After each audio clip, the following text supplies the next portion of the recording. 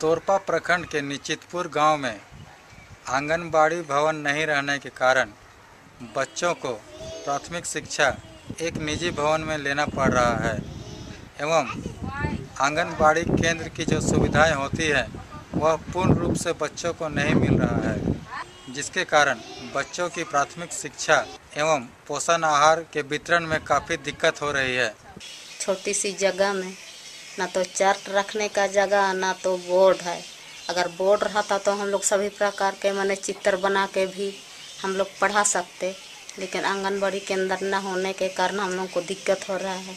वर्षा के समय भी बच्चे, माने भींजते हैं, नहीं मानते हैं और बाहर निकल जाते हैं। बच्चे ऐसे भवन में पढ़ रहे हैं, जहाँ रहने के लायक नहीं है।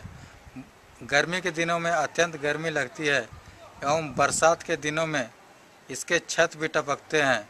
गर्मी भी के समय भी नल भी सूख जाता है। हम लोग को बहुत दूर से पानी ला के हम लोग बच्चे सब खिलाते हैं। ये खिचड़ी पका के खिलाते हैं। तौल मशीन को भी हम लोग यहाँ वहाँ टांग के हम लोग रेडिंग करते हैं। इस केंद्र में कितने बच्चे पढ़ते हैं? चालीस। मेरे घर के बच्चे भी इस आंगनबाड़ी में शिक्षा लेते हैं। जहाँ उन्हें बेहतर माहौल नहीं मिल पा रहा है। आंगनबाड़ी भवन रहने से तो हम लोग निश्चित वहाँ अपना चार्ट बोर्ड रहता है वहाँ अपना पढ़ा सकते हैं।